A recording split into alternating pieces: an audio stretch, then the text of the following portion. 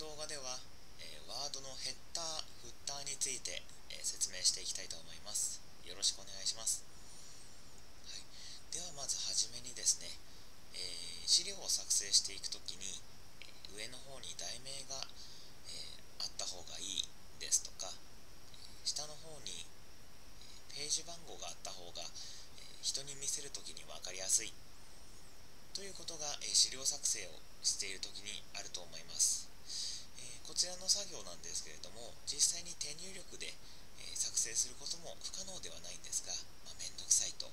いった場合に、えワードに実際に、えデフォルトでありますコマンドでですね簡単に、えそれを実行することができますのでそれを紹介していきます、はい、では実際に実行していくんですけれども、えワードの挿入タブをクリックしまして、え右側のこの部分ヘッダーとフッターという欄ですね。こちらの部分にそれぞれコマンドがありますで実際にどういっ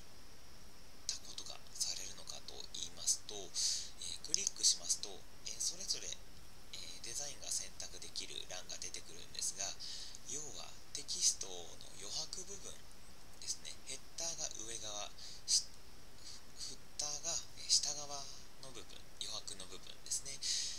にそれぞれ、えー、デザイン性のあるテキストを挿入することができますはいで実際にテキストを挿入してみますこちらのイオンというコマンドをクリックしますとはい、えー、実際にテキストが挿入されました、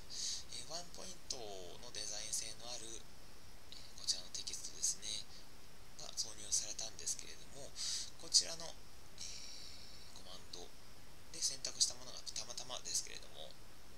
ページ番号が載っている部分ですねこの 1, 1枚目のテキストなので1と、え書いてありますで実際にテキストを2枚に増やしてみますとはい、えー、分かりますでしょうか？1枚目に1と、えー、2枚目に2と書いてあります。これは、えー、文章を作成していけばいくほどま、12345とどんどん続いていくものになりますので資料作成をする上で、まあ、こういったワンポイントのものが、えー、そうですね、まあ、会議ではない簡単に班の中で発表するようなであれば非常に資料の順番が分かりやすくて伝わりやすいと思います、はい、こういった、えー、形のコマンドになります、はい、では実際に上の方に先ほど挿入しましたけれども今度下の方に挿入をしたいと思いますので、フッターというコマンドを使います。えー、それぞれ同じようなデザインの、はい、があるんですけれども、今回は例えば会議で使うような少し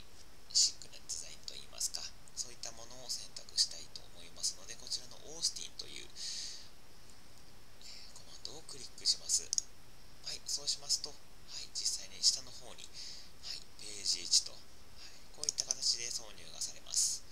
はい。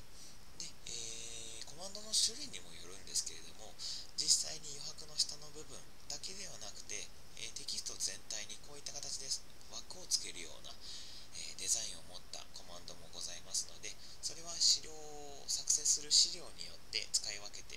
みるといいと思います。